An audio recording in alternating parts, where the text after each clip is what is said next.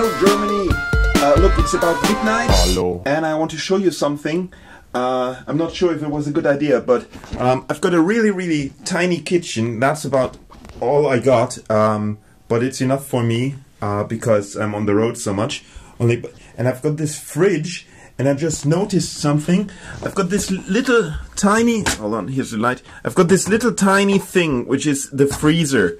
Right? I I know people usually have a bigger thing, but uh, um, well, once once this channel gets started and I will make a million bucks, I will of course get a much bigger house and um, uh, also a cook and and servants and everything.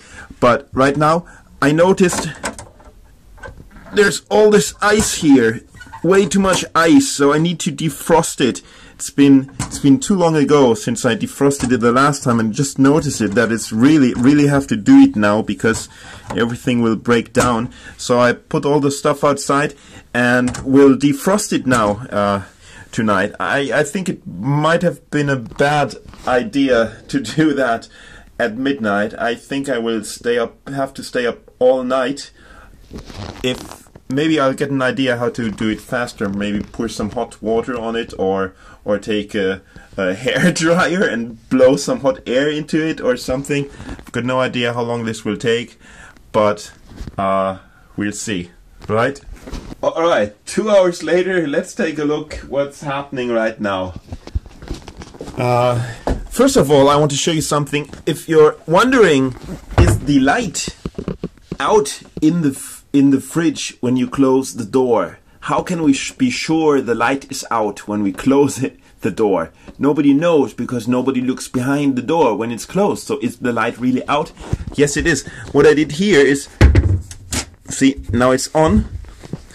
And what I did here is I put just a simple key in there so the light is light is clo- uh, is out is closed the light is closed because so the light is out when the when I'm defrosting yuck when I'm defrosting the fridge because I don't want to waste the light because I've no idea how to change light bulb in there once it's out.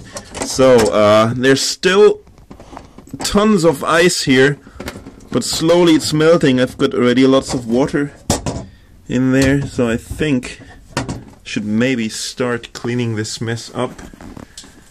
We'll see. See you later. That- that's not the joke. That's not the joke. The next day